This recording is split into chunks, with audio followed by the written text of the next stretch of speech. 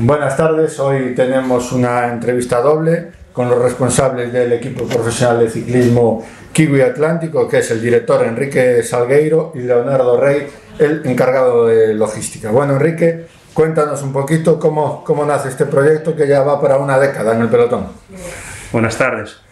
Pues nada, esto es una, una ilusión mía, ¿no? Hice una, una, trayectoria deportiva profesional como ciclista profesional durante 10 años y no fui capaz de desinvolucrarme de ciclismo una vez terminada mi carrera y aposté por, por crear un equipo de, de ciclismo. Empecé con un, con un, equipo pequeño a nivel local que poco a poco eh, dio, el paso a la categoría profesional. Eh, y son ya cuatro años, ¿no? De, el equipo en categoría continental este año es el cuarto. Y nada, cuéntame un poquito, ¿cómo fue la temporada? ¿Qué, qué, qué balance? Pues este año la verdad que la temporada fue complicada por el, por el tema de, de lo que es el, el COVID, ¿no? O sea que al final la temporada empezó en mayo y quedó toda muy, muy reducida. Pero en términos generales ha sido espectacular, ¿no? Porque eh, debutamos, empezamos en Mallorca, subiendo al podio en metas volantes, en, en clasificaciones secundarias, que es la filosofía del equipo, estar siempre en las clasificaciones. Después en, en Asturias también conseguimos ganar la montaña con Gutiérrez, eh, metas volantes en Ordicia, en general ha sido espectacular ¿no? para, el, para, el, nivel del equipo que tienes, ¿sabes?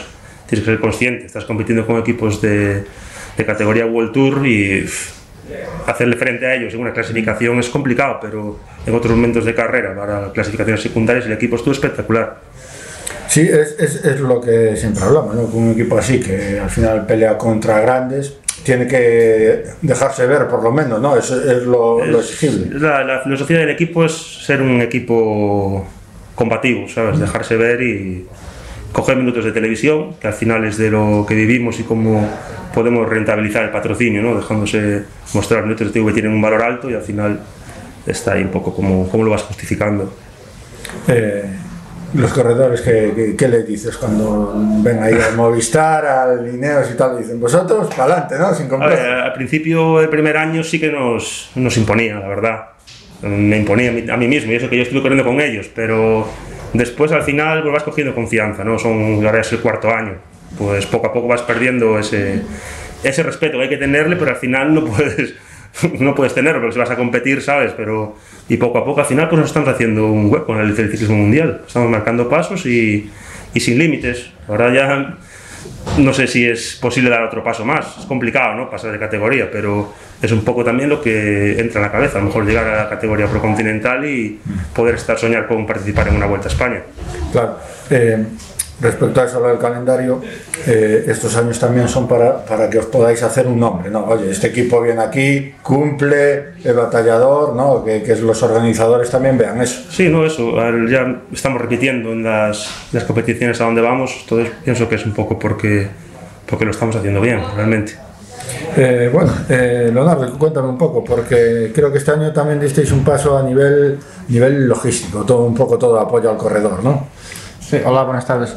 Sí, el equipo intentamos hacer todo lo posible para, para que sea este día del ciclista esté lo más cómodo posible, ¿no? con, con a aquisição de um bus.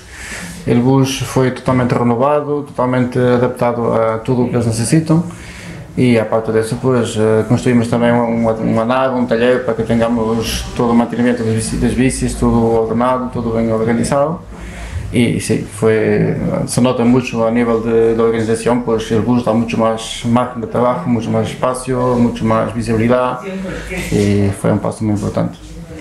Eh, cuéntanos un poco cómo es organizar un equipo, porque la gente, claro, los ve en la carretera que aparecen ocho chavales, pero hay mucho, mucho elemento por detrás. ¿no? Sí, hay muchísimo trabajo. Uh, la verdad, se torna un poco fácil porque Enrique tiene mucha experiencia y nos orienta muy bien. Y es el primero a bajar al barro y a, a ayudarnos mucho. Y después también contamos con un grupo de gente eh, bastante competente, bastante, con mucha experiencia en el ciclismo, ¿no? Que, entonces se hace bastante más fácil. Eh, pero requiere por la mañana bastante temprano, tiene que haber una persona responsable pelo desayuno, verificar que todos bajen, que desayunen bien, que no les falta nada para desayunar outra parte está dedicada à revisão dos coches, pois que tenham gasoil, que estejam limpios, que esteja tudo em condições para arrancar e outros pois de hacer la vaca, chamada vaca, não? carregar as bicis de repuesto, a posição de ruedas, comprovar que nenhuma bici tenha falhos e sim, es, e, e quando termina a carreira é um pouco mais do mesmo, ordenar tudo, organizar tudo,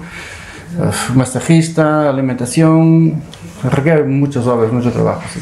Porque parece, parece mentira, pero la gente no sabe que al final un equipo mueve un material, un dinero, un material que es muy importante, ¿no? que hay que cuidarlo. Sí, mucho material, son muchas bicis, eh, son bicis de repuesto, son rodas de repuesto, son geles, son cascos, son eh, herramientas, eh, sí, hay mucho que, que, tener en cuenta, es mucho dinero y, y, mucha responsabilidad también, porque si te falla una bici en carrera, pues es, es complicado y es una tensión muy grande, ¿no? Intentar es, es evitar que fallen, ¿no? que estén las bicis siempre al punto.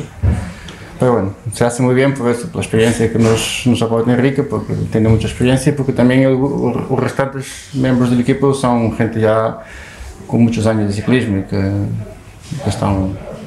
Bueno, Enrique, cuéntanos un poquito, eh, ¿qué planes hay ya para la temporada que viene? Ahora que estamos en ese periodo que para ti como director es siempre difícil, ¿no? Supongo. Difícil es todo, todo el año, ¿eh? al final no, no, no desconectas nunca, de hecho procuro siempre trabajar con un, un año de adelanto, ¿no? De no llegar a la final de temporada y no encontrarte vacío de, de, de sponsor o de, de, corredores. Entonces, al final, procuras adelantar un año. Este año hemos firmado un, un, un, contrato con una marca nueva de bicicletas, que bueno, lo podemos anunciar porque al final tampoco se llama Java. Y este contrato lo firmamos, pienso que en mayo. Entonces vas trabajando con, con mucha anticipación. Luego, el, en el tema de, de corredores, eh, la prioridad es mantener los líderes del equipo, como es eh, Xavi, eh, Gutiérrez y Andreas Miltiades.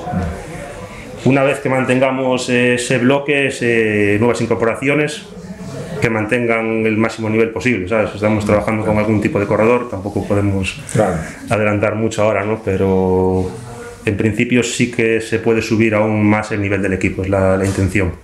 Y, bueno, eh, me hablabas de las bicis y creo que Kiwi, Atlántico, que es un compañero tuyo de hace muchos años. ¿no? Pues hoy mismo estuvimos hablando con, con Carlos para intentar cerrar lo que es el nuevo patrocinio. Ya lo tenemos un poco apalabrado, pero yo le estoy exigiendo un poquito más cada año y creo que este año va a dar un, un paso importante para, para el patrocinio del, del equipo, para que se consolide un poco más y tengamos más más capacidades. Está bastante involucrado. Es el sexto año que estamos con, con Kiwi Atlántico, productor de Kiwi español número uno y principal del mundo. Eh, y nada, vamos un poquito antes de que el calendario sale este mes. Sí. Y nada, con la esperanza de que haya más carreras en España y esa posible nueva Vuelta a Galicia, que no será Vuelta a Galicia, no sabes el nombre aún, pero que será muy Sí, parecido. el- es lo que comentamos antes, que el calendario UCI se publica a final de mes, ahora el día 30. Intentar repetir en las competiciones que estamos, que lo vamos a tener obviamente por, por méritos. Eh, lo que comentabas de la Vuelta a Galicia, esta para nosotros, se denomina Vuelta a Galicia o no, bueno, es una competición profesional en, en nuestra comunidad y para nosotros es, es muy importante y vital estar en ella. Bueno, hablamos así un poco con Ezequiel ya, si podíamos tener esa invitación y así, os dijo no va a haber problema. Supongo que también con la esperanza de que poco a poco, cuando haya un, un ciclista de nivel de aquí, que pueda, pueda brillar también el equipo. ¿no? Este año tenemos una incorporación gallega también. Sí, dentro de poco se hará oficial a su, a su ritmo, pero. Y bueno, tenemos otro chico también de- del barco de Valdeorras. Entonces al final serían dos corredores gallegos. Es complicado, ¿eh? al final en una plantilla pequeña. Nos gustaría más apostar por el ciclismo gallego también, poquito a poco también, y el ciclista gallego también tiene que mejorar también un poco, la Sí, verdad. claro.